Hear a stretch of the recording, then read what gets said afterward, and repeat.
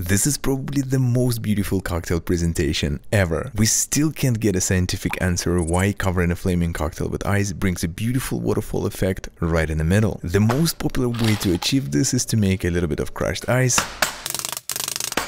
then put it in a juicer and squeeze it so that you can place ice on top and cover the entire glass area. Next add all ingredients, light it up and when gently place ice on the flaming drink, vapor comes down slowly. Well, but what's even more confusing is that this effect still happened when I placed an ice cube without covering the entire glass. So it's time to ask our YouTube chemist again.